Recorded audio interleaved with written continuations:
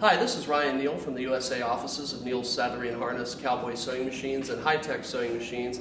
And today we're going to do a little demonstrational video on our CB341. Um, the CB341 is a very good sewing machine for sewing lightweight and medium weight materials. It's actually a little bit better sewing machine than our CB227 um, in some respects because it has a larger bobbin.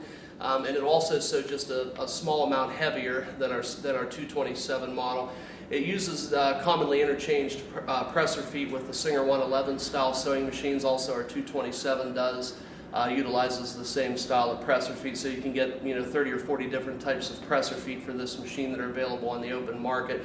You can get piping feet, welting feet, cording feet, and so forth. You can also purchase uh, edge guide feet for this machine as well. The 227 is still an excellent machine and it probably edges out the 341 with regard to certain binding applications because binders are more available for the 227 machine than the 341. But if you're not doing any binding or not a lot of binding, you can actually purchase the 341 because it does have a little bit larger bobbin than our 227 series machine.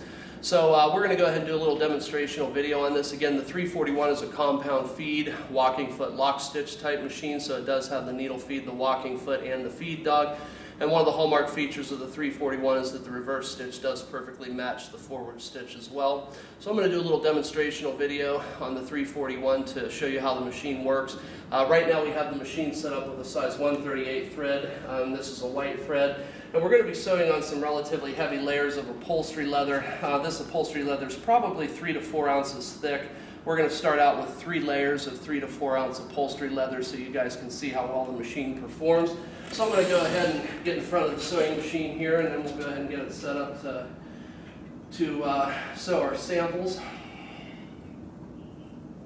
So I'll go ahead and insert the sample into the machine. Now right now we're using the hand lifter lever, but the machine will come equipped with two levers, or two, uh, two methods of lifting the presser foot. One is the hand lifter lever on the back of the machine, and then also uh, we utilize a uh, knee lifter mechanism underneath the machine as well. So there's going to be two different ways to lift the presser foot on this particular machine. So I'll go ahead and uh, demonstrate this so you can see how well it sews. Again, this is three layers of approximately three to four ounce upholstery style leather.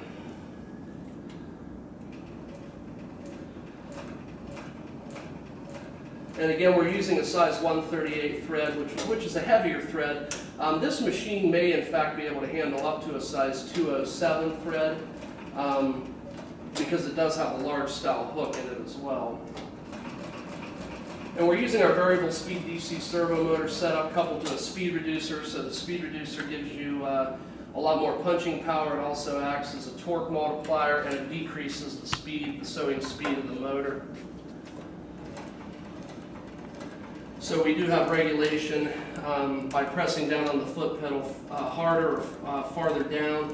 We can regulate the speed of the machine. If I push farther on the pedal, you can see I can go a little bit faster as well.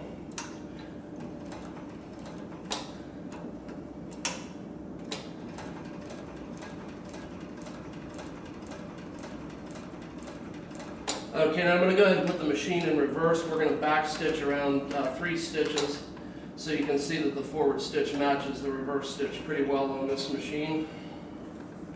I'll go ahead and extract the sample from the machine. We'll see if our camera can zoom in on this stitching so you can see. Again, you'll see all these uh, layers of material are sandwiched together very, very nicely and they're, they're relatively tight given the fact that it's upholstery leather. I mean, it's soft leather to begin with.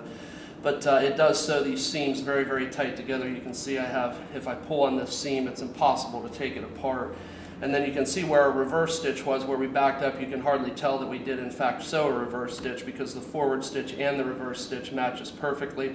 If you flip the piece over on the back side, you can see that the stitches are pulled up very, very nice in the center of the in the center of the uh, three layers of material, and you can't see any loops or nubbies on the back side.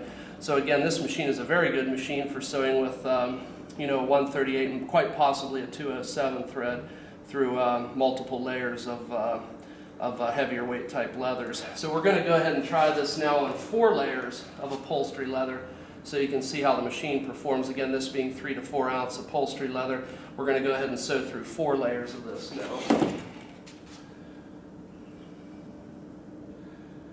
Uh, one other thing too, the presser foot lift on this machine is, is about uh, a little bit over a quarter inch with the hand lifter lever, but you'll get a much higher lift if you use the knee lifter on the machine. So you'll pick up a little bit higher lift when you use the knee lifter versus the hand lever.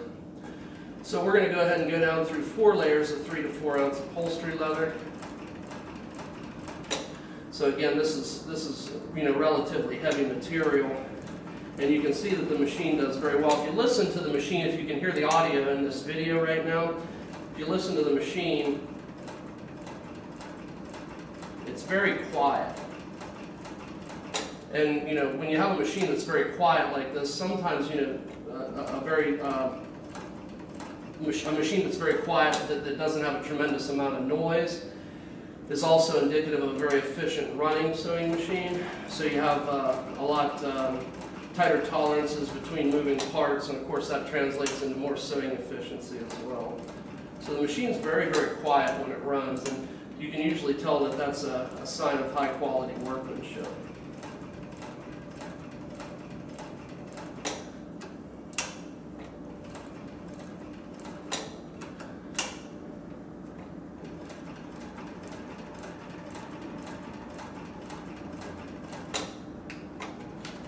I'm just going to back up a few stitches here so you can see how it does in reverse on the four layers.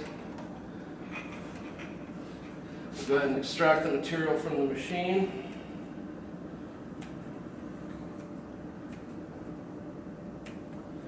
And so you can see on four layers of material now, this machine has performed very, very well. Or see if our, see if our camera can zoom in on this to see it just a little bit better.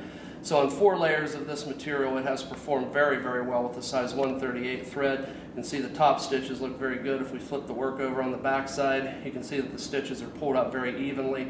And again, with this being four layers of three to four ounce upholstery leather, you can see that this is, this is well over a quarter inch, might be heading towards three eighths of an inch thick, and this machine performed uh, very, very well on it. This machine would be an ideal choice for people that were doing things like wallets, uh, checkbook covers, portfolios. If you're using it in upholstery applications for doing bimini tops for boats, you can use it on uh, uh, automotive tops for convertibles. You can utilize it in marine canvas in industry. You can utilize it in marine vinyl industry. So it is a very, very good choice for that, uh, for that type of work. So again, lightweight, medium weight machine, and this is our Cowboy CB341. And my name is Ryan Neal from the USA offices of Neal's Saddlery and Harness, Cowboy Sewing Machines, and High-Tech Sewing Machines. And I do thank you for your time today.